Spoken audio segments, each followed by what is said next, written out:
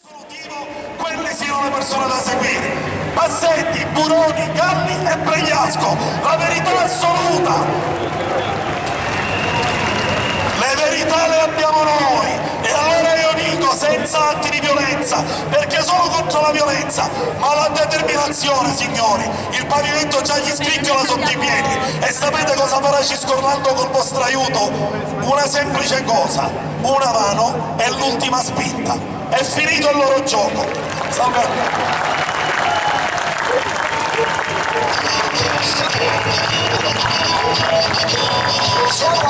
Grazie, grazie Ciscollano, grazie per la tua carica, per la tua energia, per aver ricordato anche il dottor De Donno, a cui farei un altro applauso perché veramente per persone come lui siamo anche qui oggi. Allora, un altro professionista sale su questo palco, Marco Mori. Marco Mori, un avvocato che si è speso da subito, in tempi non sospetti. momento precedente quel personaggio che oggi abbiamo alla presidenza del Consiglio, Mario Draghi.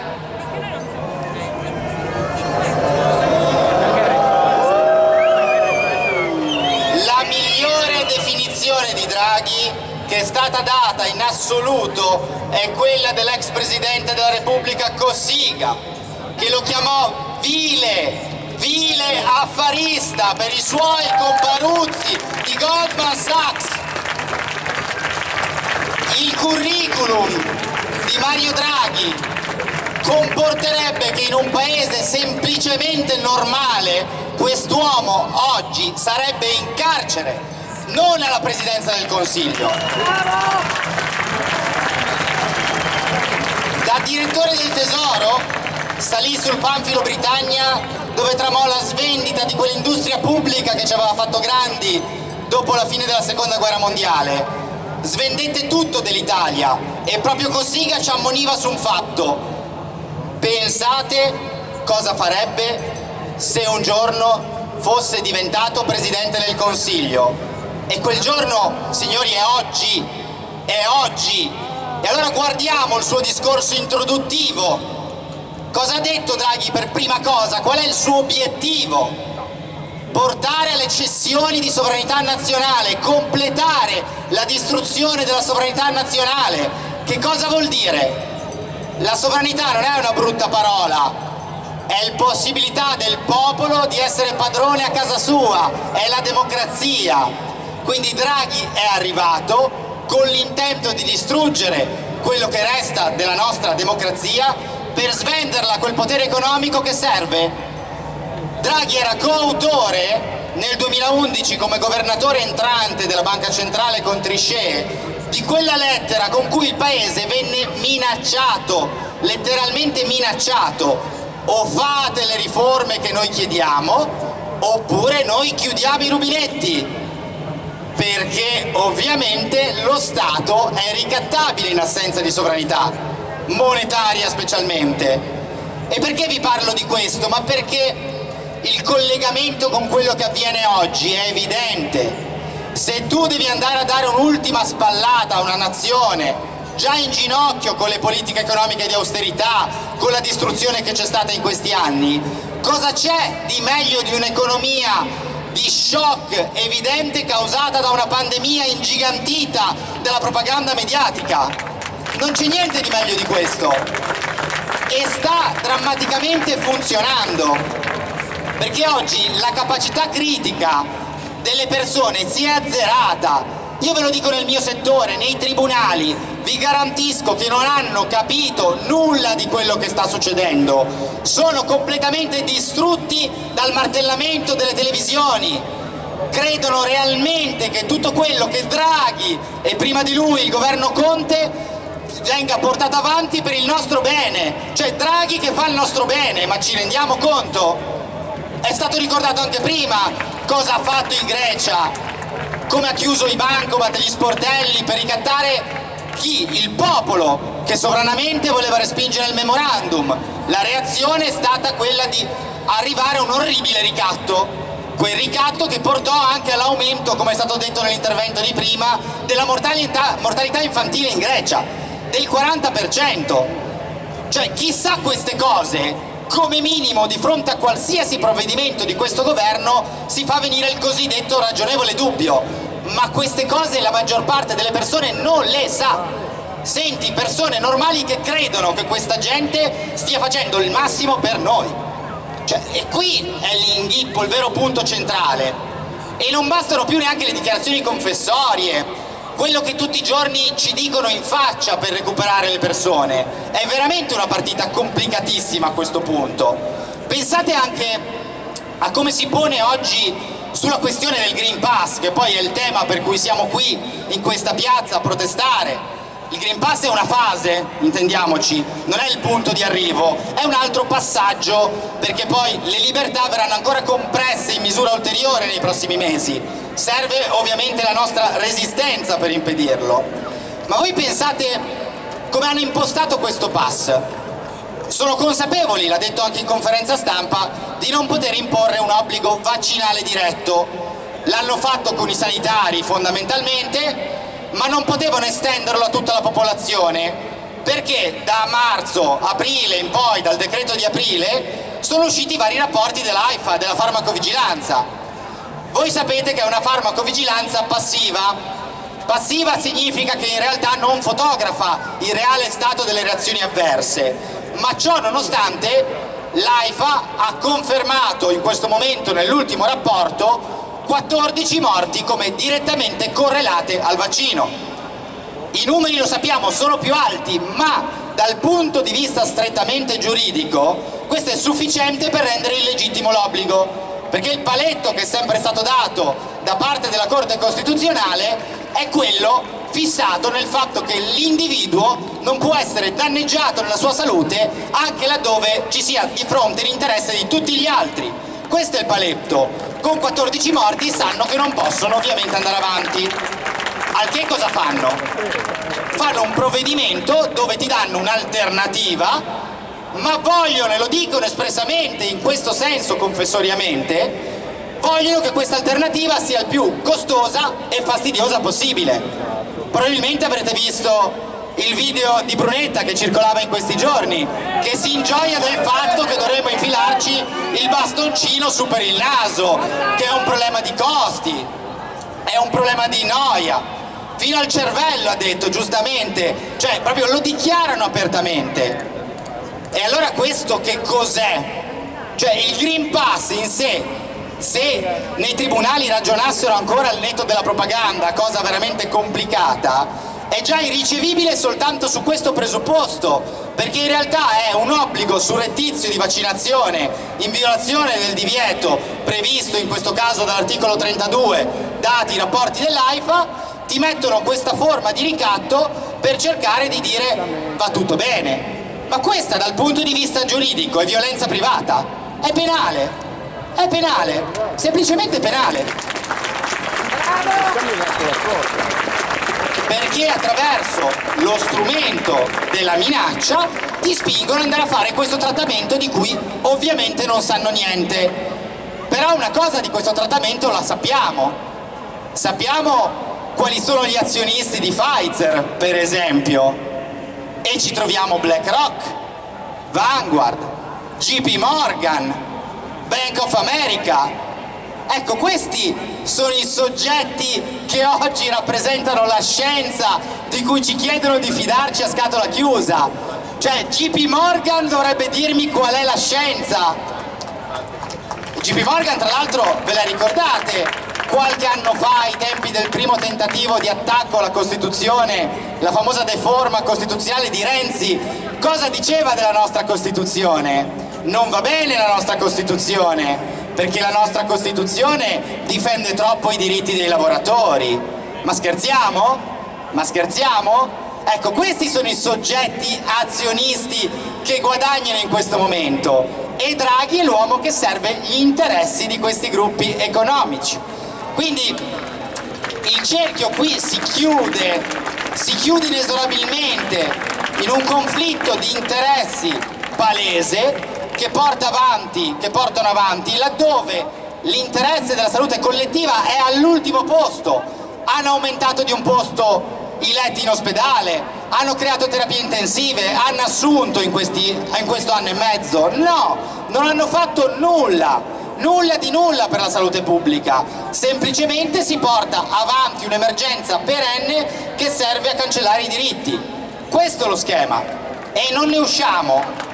Ora, cosa fare? Perché poi che cosa sta succedendo qui in questa piazza già lo sapete. Il problema vero è cosa fare. Beh, sappiamo che, ve l'ho detto, dal punto di vista giuridico è estremamente complicato, proprio per il discorso propaganda, quindi le persone purtroppo dal 15 dovranno cercare di resistere nel tentativo di attendere che magari da qualche parte riusciamo a creare una crepa con le numerose cause che stiamo cercando di portare avanti. Questa attività deve essere certamente parallela alla protesta, alla piazza, alla politica, quella in senso buono, quella che facciamo noi anche in questo momento, e dobbiamo portare avanti questa battaglia. Ma abbiamo anche altre forme di lotta che si sono rese possibili, che però richiederebbero un coordinamento che ovviamente è difficile da portare avanti, soprattutto se si considera che nell'ambito del lavoro i sindacati stanno lavorando dall'altra parte e non sono al fianco delle persone.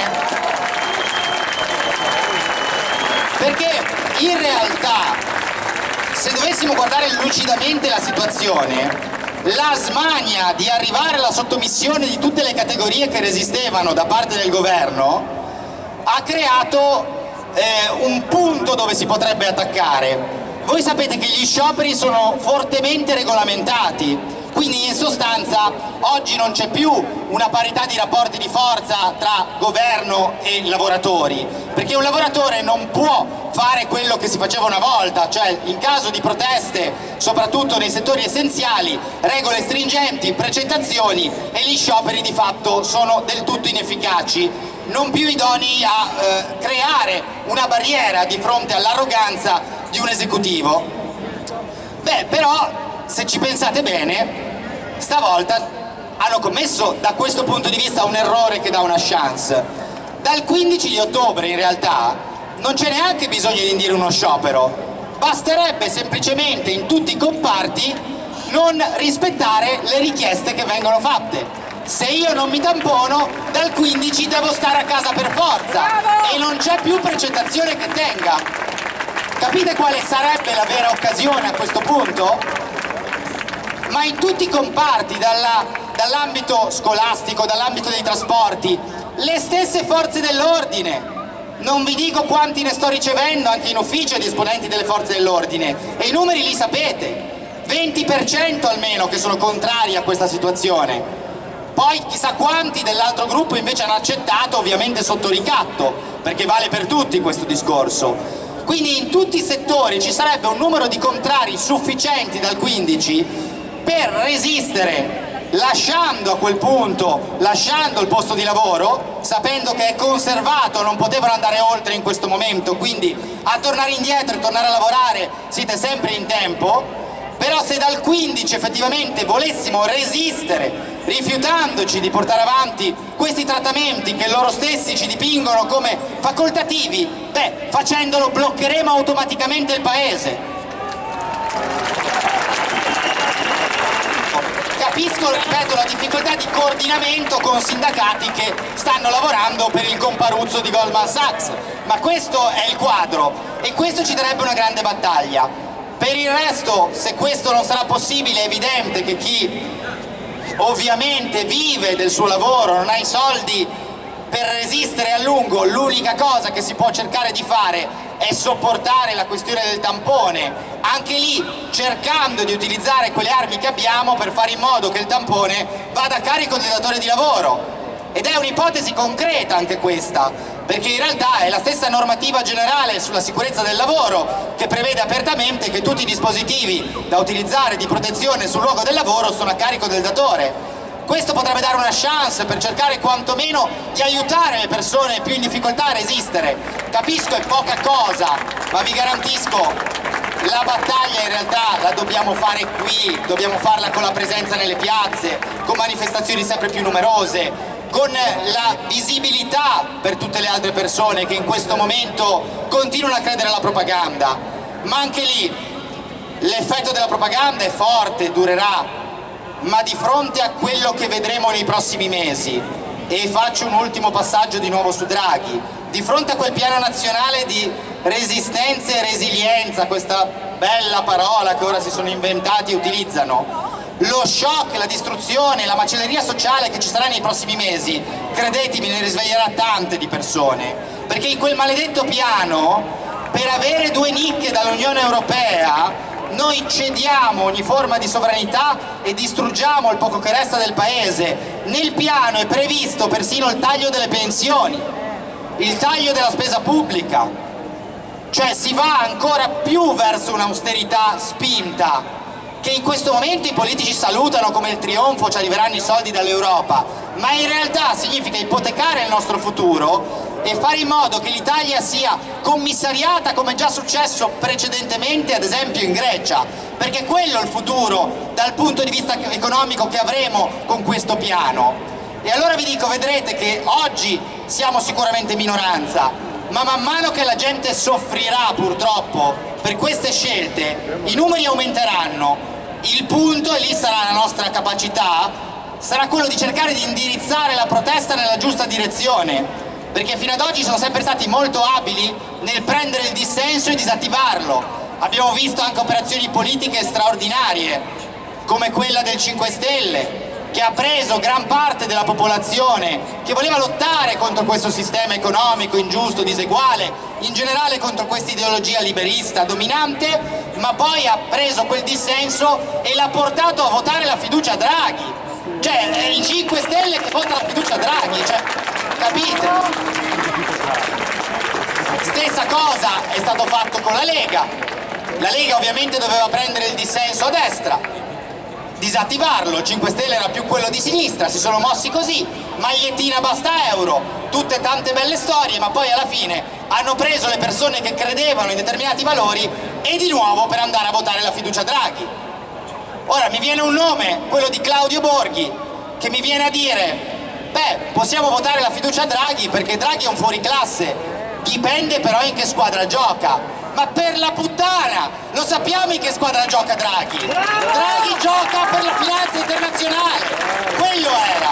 Quindi ci hanno preso letteralmente per il culo. Ecco perché la fase che sarà veramente delicata sarà quella in cui si creerà un grosso bacino di dissenso e stavolta non dovrà essere disattivato. Questa è la nostra sfida quello che dovremo fare in futuro e adesso per ora comunque continuiamo a resistere. Vi ringrazio.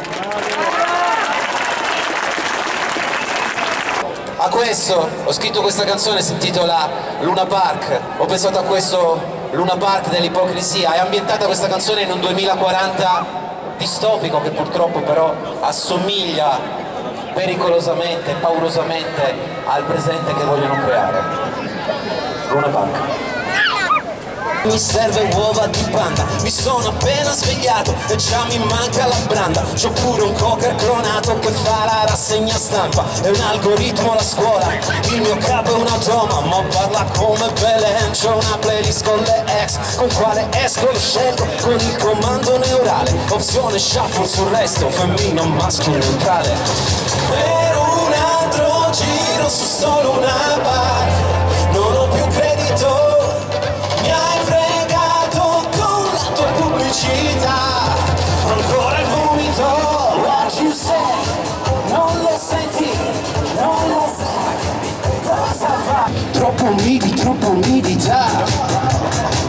noleggiano l'aria brandizzata e piana.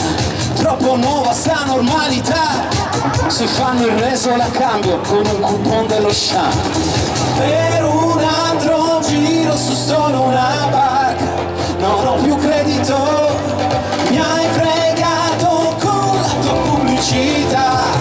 Ancora il vomito. La schiena colpo di scena già scritto insegna la rivoluzione per scena. Per un altro giro su solo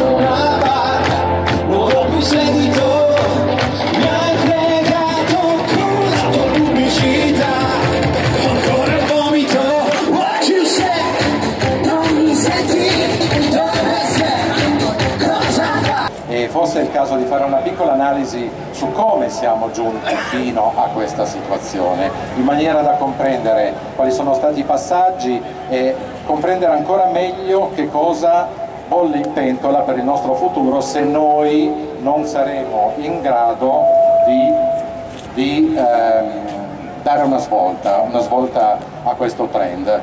Ehm, vi chiedo di, di, avere pazienza ma dobbiamo tornare indietro di, di, qualche anno, ma lo facciamo a tappe forzate, velocemente.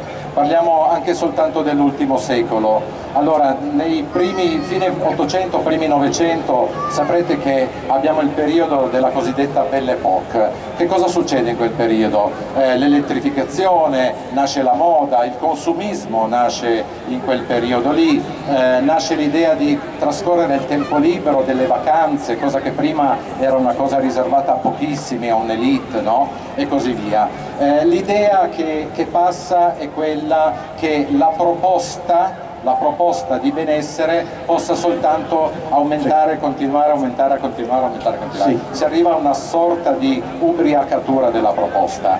Eh, chi ha eh, studi economici potrebbe collegare tra l'altro questi step che vi dico anche ai eh, cicli di Kondratiev che sono cicli che lui riteneva prettamente economici ma che avevano ovviamente un impatto sociale molto importante. Circa 50 anni dopo, siamo negli anni 60-70, periodo della contestazione, periodo eh, della New Age, periodo dell'ambientalismo, dell'animalismo che già esistevano ma lì ripartono in gran forza, eh, un, il moderno femminismo anche lì viene rilanciato in quel momento, un periodo estremamente movimentista. Anche la scuola muta in quel periodo lì, ahimè mi tocca dire, perché purtroppo da una scuola forse anche troppo coercitiva diventa una scuola che nei decenni diventa sempre più blanda fino a rinunciare alla sua capacità formativa e rimanendo soltanto più informativa.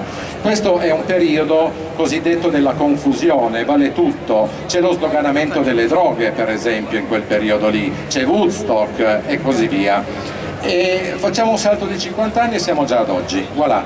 Eh, dal 2010 in poi eh, è eh, chiarificata la supremazia tecnologica, abbiamo quindi un periodo eh, nel quale siamo prettamente immersi oggi, che è il periodo tecnocratico, non siamo più nemmeno nel periodo in cui comanda la finanza. La finanza, se andate a vedere, nella storia dell'umanità ha avuto una vita relativamente breve nel suo potere sul mondo intero. Prima c'era l'economia, è durata un bel tot, poi è arrivata la finanza, ma questione di decenni, adesso siamo in tecnocrazia.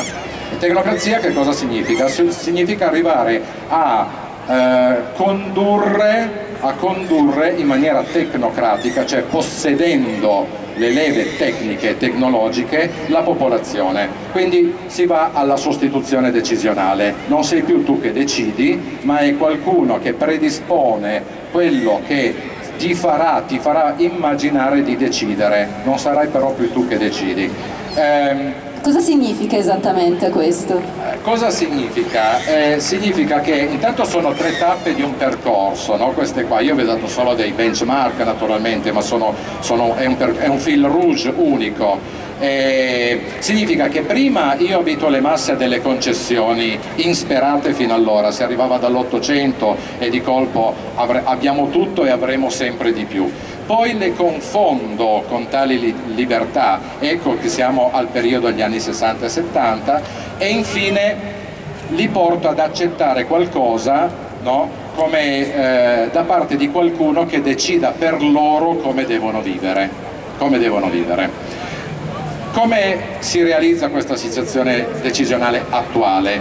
Come avete potuto notare nessuno è venuto con il fucile a dirvi devi comprare lo smartphone, giusto? No, però tutti ci siamo convinti e tutti abbiamo lo smartphone in tasca per esempio. Allora, ehm, sanno bene quelli che eh, manipolano le masse che usare la forza porta chiaramente a, a, ritrarsi, quindi è normale che non abbiano usato questa strategia. Hanno usato una strategia più euristica, come si dice, cioè hanno dato una serie di stimoli i quali hanno portato a questa abitudine ad affidarsi, ok? Fin dalla più tenera infanzia, e tra l'altro se lo notate, ricordate i giocattoli anche solo di 30 anni fa? Erano giocattoli che regalati al bambino sviluppavano la sua immaginazione, la sua creatività e anche magari la voglia di metterci le mani per smontarli e tentare di rimontarli. Oggi non è più così, oggi il giocattolo è elettronico, è concepito da qualcuno che non saprai nemmeno mai chi è, va bene, e fa giocare il bambino all'interno di un quadro ben definito che è stato deciso da qualcun altro, per cui il bambino non sviluppa ovviamente il pensiero critico, il pensiero della scelta, può solo tentare di seguire il percorso che lo porta a prendere i famosi punti o quello che sia, no? eh, peraltro anche generando fin nella prima eh, infanzia il senso di frustrazione che una volta non esisteva, perlomeno fin quando ci si sposava, che io sappia, ecco più o meno. Beh, tra l'altro questo percorso che tu indichi nell'infanzia sembra anche un po' così compatibile con quello che è il percorso di studi eh, in generale appunto degli studenti. Io penso anche ad esempio a un percorso universitario nel momento in cui uno voglia fare degli approfondimenti che vadano un po' fuori da quello che è il programma ufficiale, ecco lì è territorio di nessuno e, ed è eresia. Ma ecco, andiamo avanti, quindi a, a quale scopo tutto questo?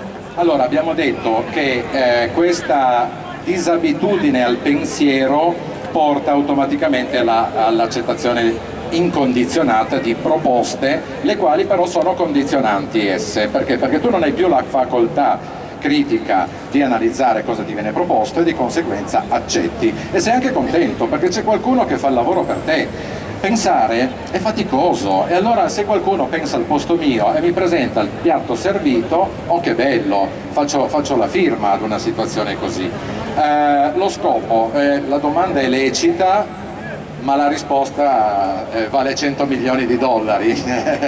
Dico dollari perché l'euro io non l'ho ancora digerito, non so voi, ma non l'ho ancora digerito. Eh, allora, intanto se avessero evitato di dirci che l'uomo è fatto immagine e somiglianza di Dio sarebbe stato meglio, perché qualcuno questa cosa l'ha presa troppo sul serio e pensa che sia riferita solo a se stesso, per cui ritiene di poter disporre, va bene, delle masse, perché tanto lui, lui solo lui, quindi una piccola parte di popolazione, è il Dio in terra. Quindi eh, il fatto di disporre della vita di moltitudini è effettivamente un qualcosa di estremamente pericoloso per le moltitudini naturalmente e questa è una possibilità. L'altra possibilità è che semplicemente noi non siamo come umanità, eh? allarghiamo il quadro, non stiamo parlando di Torino, dell'Italia, come umanità nel suo complesso non siamo ancora sufficientemente maturi anche questo è possibile, è possibile. Eh, la conoscerete la storiella dei marziani che vengono periodicamente sulla Terra a vedere lo stato di eh, evoluzione del genere umano, la sapete? Volete che ve la racconti in due parole? Due parole, la volete sapere. Va bene, periodicamente i marziani vengono sul, sul nostro pianeta per vedere qual è il nostro stato evolutivo. Arrivano l'ennesima volta e trovano una serie di persone seduta, affranta e disperata, eh, che dovevano costruire un ponte per unire due città, va bene, su di un fiume. Eh, Qual è il problema? Vediamo che avete i mattoni, avete le pietre, avete il cemento, eh, avete eh, gli architetti, gli ingegneri, le maestranze, avete tutto quello che serve, ma cos'è che vi manca? Risposta, ci mancano i soldi ci mancano i soldi. Meraviglioso. Allora i, i, i nostri amici risalgono sull'astronave, partono e mentre vanno via verbalizzano il passaggio. Cosa scrivono? Ripassare perché non sono ancora sufficientemente evoluti naturalmente, perché se hai tutto e mi dici che non puoi fare il ponte perché mancano i soldi, probabilmente qualcosa, qualcosa non, non quaglia. Ecco, questo è. Eh, Comunque, in entrambi i casi, in entrambi i casi... Ma questa era veramente una storiella di fantasia oppure eh, fatti verificabili? Ma chissà, chissà, chissà. Secondo me ci può essere una traccia di realtà in questo, effettivamente. Beh, anche perché le probabilità ci sono, come sappiamo, eccetera, eccetera. Ma adesso parliamo d'altro, via. Eh, devo anche dire che anche noi tutti come popolazione dovremmo farci un pochino un esame di coscienza, no? Perché? Perché noi dobbiamo prenderci una parte, sebbene minimale, minimale di responsabilità, ognuno di noi individualmente o come collettività, per il fatto di avere concesso che questo modo di gestire la popolazione potesse andare avanti, potesse sedimentarsi, potesse prendere tutto lo spazio che gli interessava. Cosa non abbiamo fatto? Non abbiamo fatto le cose più semplici e banali alla portata di tutti, non abbiamo dissentito a sufficienza, vuoi con le parole, vuoi con i fatti, ma non, non l'abbiamo fatto, non l'abbiamo fatto. Okay? E quindi questo progetto diabolico, perché non riesco a trovare un altro genere di, di definizione, è potuto andare avanti tranquillamente a tappe forzate, no? travolgendo poi tra per la strada tutto ciò che ha trovato. E se prima lo ha fatto in una maniera più o meno sommersa, adesso siccome come hanno detto alcuni già in precedenza siamo in zona Cesarini, adesso, adesso lo fanno assolutamente in maniera assolutamente visibile e, e smaccata. Perché? Perché c'è una fretta di fondo, c'è una fretta di arrivare ad una chiusura dell'ennesimo ciclo di quelli che vi dicevo in precedenza, che chiude tra l'altro proprio in questi anni, guarda caso. E sono, questo è il ciclo della raccolta, cioè è la quarta stagione del ciclo, è il ciclo della raccolta. Stanno correndo, stanno correndo per far cosa? Per raccogliere il più possibile perché poi ripartirà un altro ciclo, un ciclo che sarà un ciclo in salita naturalmente e, e in questo può aiutare l'adozione di quella che io uso di nuovo la stessa parola di prima, è una cosiddetta euristica positiva, cioè smettiamola di puntare la nostra attenzione su ciò che non va, lo sappiamo, giriamo la schiena letteralmente a questo marciume e guardiamo e ci eh, contorniamo solo ed esclusivamente verso e di cose belle, di cose vantaggiose, utili per tutti, per tutti. Eh, perché tra l'altro se continuiamo a diciamo, a rimestare, a parte che come sapete bene dal vecchio detto più rimesti più sale l'odore, va bene, noi continuiamo a essere contaminati dalle cosiddette dissonanze cognitive che, che farciscono quotidianamente, quotidianamente ogni genere di comunicazione da parte di chi ci vuole portare dove interessa a loro. Quindi dobbiamo girare letteralmente le spalle a questo eh, sistema di comunicazione principalmente e organizzarci noi. In sostanza, vogliono fare il grande reset? Bene, noi dobbiamo fare in modo che il grande reset consegno meno che loro vogliono portare avanti sia anticipato da un grande reset consegno più che faremo noi tutti insieme, tutti insieme e si può fare, siamo ancora in tempo sta rappresentando un numero variabile tra i 500, 700, anche 1000 individui, i quali per una ragione o per l'altra non sono qui in piazza, ma la pensano esattamente come voi. Punto primo. Punto primo. Quindi siete molto di più di quanti già tanti siete stasera. Se poi questo lo moltiplichiamo per tutte le piazze eh, del No Paura Day in giro per l'Italia, capite che il numero diventa veramente consistente. Eh, questo numero è composto in parte da persone che sono già convinte che non possa andare avanti così si debba cambiare e da una parte di persone che invece chiamiamo latenti, cioè devono ancora arrivare a realizzare che queste cose qua vanno modificate.